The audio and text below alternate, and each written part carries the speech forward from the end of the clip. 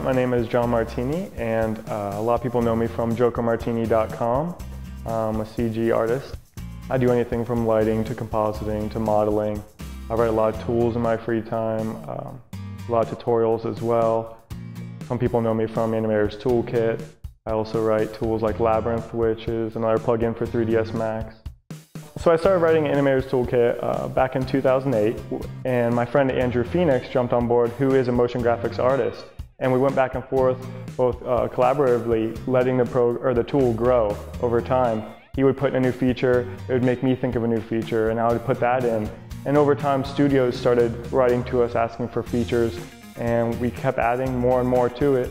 And now it's become over 100,000 lines of code that started out as just 100 lines. Google happened to do a commercial making the Chrome logo out of Legos and they used Animator's Toolkit for it to make Legos build the Chrome logo.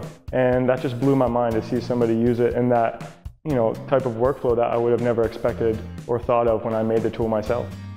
I think it's very important for artists to learn scripting. It's just as important as knowing how to model, knowing how to light or rig, because at the end of the day, we all want to make something as fast as we can and look as good as we possibly can make it for a low, co low cost. And I can achieve bigger projects with less people because I can write those tools that automate things that maybe would take two or three people to do. For me, I use 3ds Max for all my projects because it's very user-friendly. It's very procedural in the way it works with the modifier stack. Allows me to take chances and make a modification on an object that I might not like. Um, and in some programs, you know, that's always destructive, whereas Max is a little more procedural in that sense where it's not always destructive. You can turn it on and off and take chances. And I think in the end of the day, that's very helpful. I hear a lot of people say Max is only for games and not visual effects.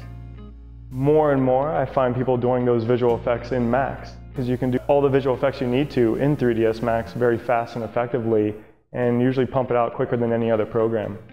People should be really excited about the future of Max. There's a lot of things coming to it that uh, will change the way people view Max. I look forward to using open subdivs to make characters and add, you know, creases or edges along the lips of a character or even like a mechanical character like a Gears of War type of character who has a lot of armor and not have to do a bunch of extra edges and edge loops. Uh, the things that you see coming to Max right now with the service packs and things like that are just a foreshadow of what's to come down the road and it's really going to make everybody very pleased with the versions of Max that come in the future.